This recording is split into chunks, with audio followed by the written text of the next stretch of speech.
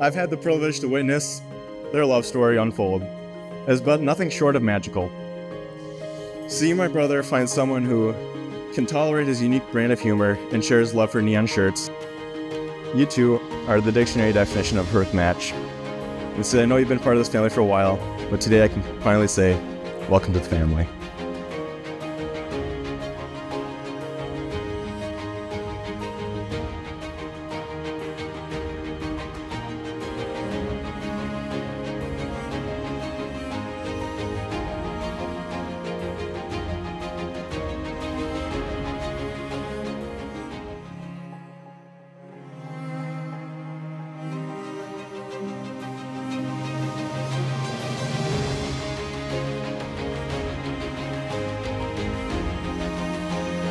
I have so many memories and stories since I've pretty much lived with the couple for at least two years. Long time, long two years. And lived with Sid for a lifetime. And so glad God picked Chandler to be the addition to our family. Now, I'm sure many of you know Sid and I's father passed away in October of 2021. And before I start crying, I wanted to take a moment and thank Chandler for not only showing up for Sid after the passing, but also showing up for me. Chandler didn't only step up as a future husband, but also as a brother to me.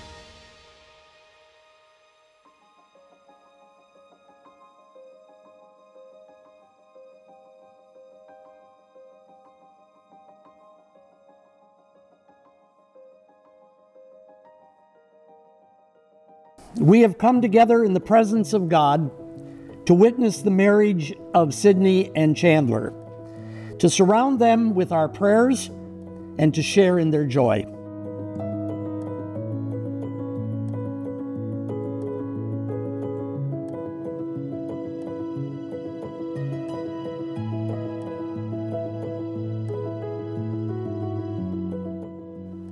I want to express my appreciation to both of you for your faithful attendance in our worship over these past months, and I hope that it in some way reflects your commitment, not only to each other and to your faith, but also to the Lord.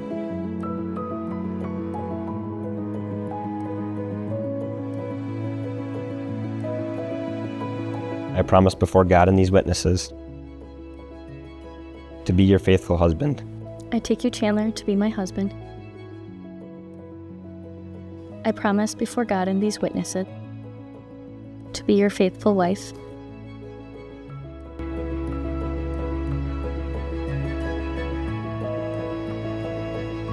You may share the kiss of peace.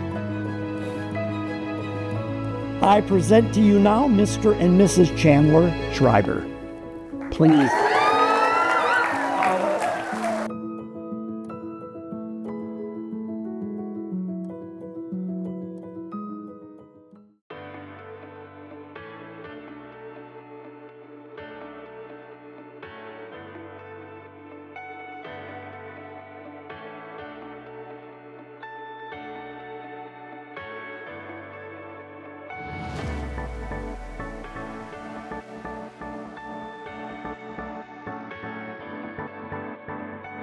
Thank you.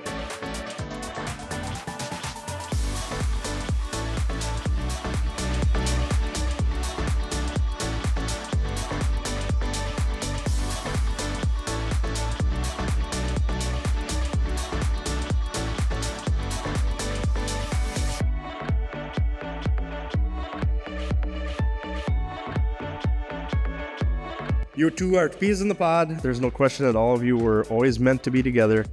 I have so much love and respect for the two of you, for the lengths that you would go for each other to make each other happy.